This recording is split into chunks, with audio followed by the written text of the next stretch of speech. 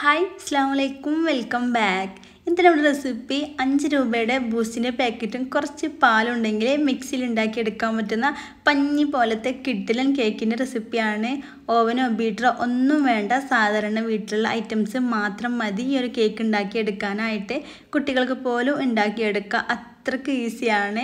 അതുപോലെ കിട്ടിലൻ ടേസ്റ്റുമാണ്. അപ്പോൾ ഇതെങ്ങനെ ഉണ്ടാക്കാൻ നോക്കാം? അതിന് മുന്നേ ആയിട്ട് ചാനൽ ആദ്യമായിട്ടാണ് നിങ്ങൾ കാണുന്നുണ്ടെങ്കിൽ നിങ്ങൾക്ക് ഇഷ്ടമായി എന്നുണ്ടെങ്കിൽ സബ്സ്ക്രൈബ് ചെയ്ത് സപ്പോർട്ട് ചെയ്യണേ.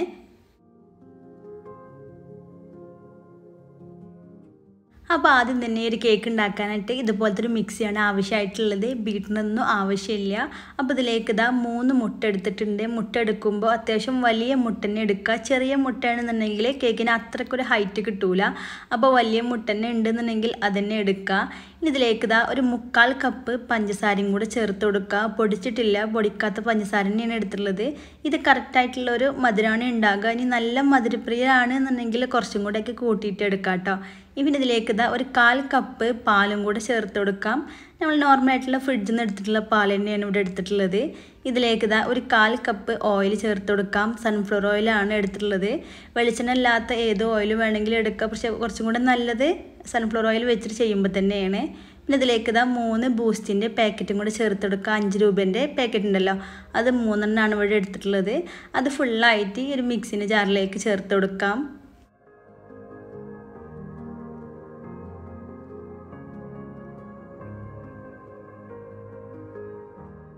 ഇതാ ബൂസ്റ്റൊക്കെ ചേർത്ത് കൊടുത്തിട്ടുണ്ട് ഇനി നല്ല പോലെ ഒന്ന് അടിച്ചിട്ടെടുക്കുക ഒരു രണ്ട് മിനിറ്റ് നല്ല രീതിയിൽ തന്നെ അടിച്ചെടുക്കണം. ഇതിൽ പഞ്ചസാരയൊക്കെ അങ്ങനെ ചേർത്തുകൊണ്ട് തന്നെ നന്നായിട്ട് അടിഞ്ഞ് കിട്ടണം. അപ്പോൾ ഇതാ ഈ ഒരു രീതിയിൽ നല്ല പോലെ പഞ്ചസാരയൊക്കെ ഫുള്ളായിട്ട് തന്നെ അടിഞ്ഞു വന്നിട്ടുണ്ട് കേട്ടോ നല്ല പോലെ മെൽറ്റായിട്ട് വരണം. ഇതാ ഇതുപോലെ ഒരു ബൗളിലേക്ക് ചേർത്തിട്ടുണ്ട്. ഇതിന്റെ മുകളിലേക്ക് ഒരു അരിപ്പ വെച്ചെടുക്കാം. അരിപ്പയിലേക്ക് ഇതാ ഒന്നേകാൽ കപ്പ് മൈദ ചേർത്ത് കൊടുക്കാം. ഒരു കപ്പ് മൈദയും പിന്നെ ഒരു കാൽ കപ്പും കൂടിയാണ് ഇവിടെ എടുത്തിട്ടുള്ളത്. അപ്പോൾ നിങ്ങളെ കയ്യിൽ മെഷറിംഗ് കപ്പ് ഇല്ല എന്നാണെങ്കിൽ നിങ്ങളെ കയ്യിലുള്ള ഏതെങ്കിലും നല്ലൊരു ഗ്ലാസ് വെച്ചിട്ട് അളവെടുത്താലും മതിയാകും. പിന്നെ ഇതാ ഒരു അര ടീസ്പൂൺ ബേക്കിംഗ് സോഡയും ഒരു അര ടീസ്പൂൺ തന്നെ ബേക്കിംഗ് പൗഡറും കൂടെ ചേർത്ത് കൊടുക്കാം. എന്നിട്ട് എല്ലാം കൂടെ ഒന്ന് അരച്ചിട്ട് ഈ ഒരു മിക്സിലേക്ക് ചേർത്ത് കൊടുക്കാം. ഇനി അരിപ്പൊന്ന് മാറ്റി വെച്ചതിന് ശേഷം ഇതുപോലത്തെ ഒരു വിസ്ക് വെച്ചിട്ട് നല്ല പോലെ മിക്സ് ചെയ്ത് യോജിപ്പിച്ച് കൊടുക്കുക. മൈദയ്ക്ക് എല്ലായിടത്തും മിക്സായിട്ട് കിട്ടണം. ഒട്ടും കട്ടയൊന്നും ഇല്ലാതെ തന്നെ മിക്സാക്കി എടുക്കണം. നമ്മൾ ബീറ്റർ വെച്ചിട്ടൊന്നും ബീറ്റ് ചെയ്യാത്തതുകൊണ്ട് തന്നെ ഈ ഒരു വിസ്ക് വെച്ചിട്ട് നല്ല പോലെ മിക്സാക്കി യോജിപ്പിച്ച് കൊടുക്കണം. ഇതുപോലെ ഇതാ കുറച്ച് സ്പീഡിലിട്ട് തന്നെ മിക്സ് ചെയ്ത് കൊടുക്കുക. ഒരു രണ്ട് മിനിറ്റ് എങ്കിലും നല്ല പോലെ ഒന്ന് മിക്സ് ചെയ്തെടുക്കുക. അപ്പോൾ നല്ല സ്മൂത്ത് ആയിട്ടുള്ള ബാറ്ററി ഉണ്ടാക്കിയെടുക്കാൻ പറ്റും. ഇതാ ഈ ഒരു രീതിയിൽ നല്ല സ്മൂത്ത് ആയിട്ട് കിട്ടിയാൽ മതിയാകും എന്ന് വെച്ചിട്ട് ഒരുപാട് ടൈം ഇട്ടിട്ട് മിക്സർ എടുക്കേണ്ട ആവശ്യമൊന്നുമില്ല. പെട്ടെന്ന് തന്നെ ഈ രീതിയിൽ നല്ല സ്മൂത്ത് ആയിട്ട് കിട്ടുകയും ചെയ്യും.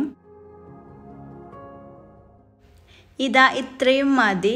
ഇനി ഈ വിസ്ക് അങ്ങ് മാറ്റി വെക്കാം. എന്നിട്ട് കയ്യിൽ സ്പാച്ചില ഉണ്ടെന്നുണ്ടെങ്കിൽ അത് വെച്ചിട്ട് ഇതുപോലെ ഒന്നും കൂടെ അങ്ങ് സ്മൂത്ത് ആക്കിയിട്ട് എടുക്കുക.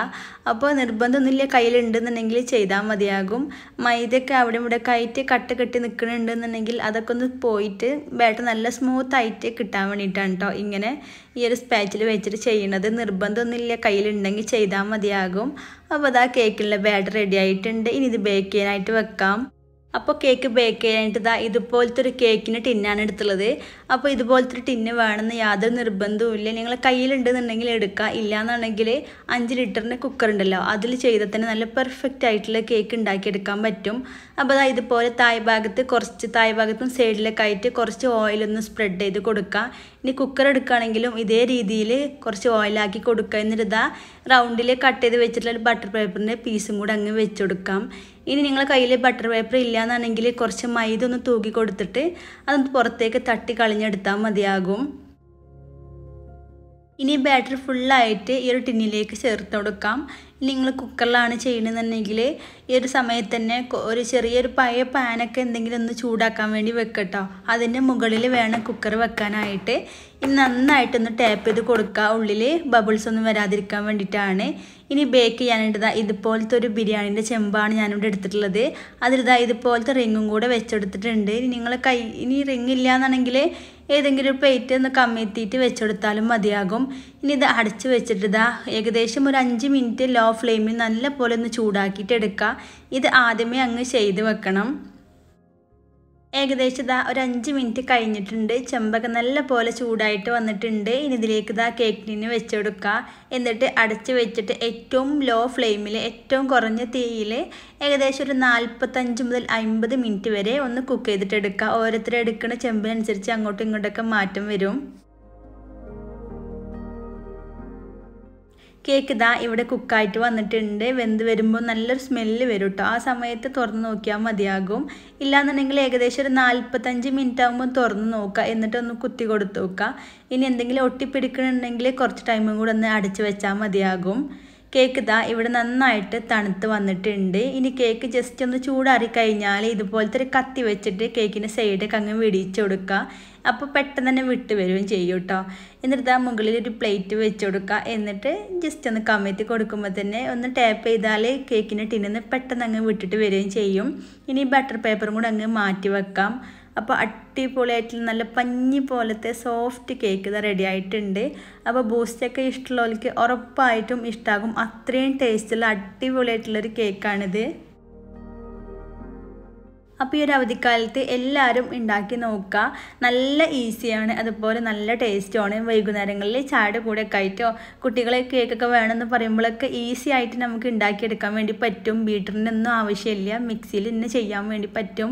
പിന്നെ ഇതാ ഇത് സ്പോഞ്ച് കേക്കായിട്ടും ഉണ്ടാക്കിയെടുക്കുക നമ്മൾ ക്രീമൊക്കെ വേണമെന്നുണ്ടെങ്കിൽ ഇത് ലെയറായിട്ട് കട്ട് ചെയ്തിട്ട് ക്രീമൊക്കെ തേച്ചിട്ട് നമുക്കിത് ക്രീം കേക്ക് ആക്കിയിട്ട് എടുക്കാം കേട്ടോ അപ്പോൾ നല്ല അടിപൊളി കേക്കാണ്. ഉറപ്പായിട്ട് നിങ്ങൾ ഉണ്ടാക്കി നോക്കണം എന്നിട്ട് കമന്റായിട്ട് അറിയിക്കാൻ മറക്കരുത്. പിന്നെ കണ്ടുകൊണ്ടിരിക്കുന്ന സമയത്ത് നിങ്ങൾക്ക് ഇഷ്ടമായെന്നുണ്ടെങ്കിൽ ലൈക്ക് ചെയ്ത് സപ്പോർട്ട് ചെയ്യുക. പിന്നെ നിങ്ങൾ ഫ്രണ്ട്സിനും ഫാമിലി ഗ്രൂപ്പൊക്കെ ഉണ്ടെന്നുണ്ടെങ്കിൽ അതിലേക്കൊന്ന് ഷെയർ ചെയ്തിട്ട് സപ്പോർട്ട് ചെയ്യണേ. അപ്പോൾ സബ്സ്ക്രൈബ് ചെയ്യാതെ കാണുന്നവരുണ്ട് എന്നുണ്ടെങ്കിൽ പ്ലീസ് ഒന്ന് സബ്സ്ക്രൈബ് ചെയ്യുക. വീണ്ടും അടിപൊളിയായിട്ടുള്ള റെസിപ്പി ആയിട്ട് കാണാം. താങ്ക്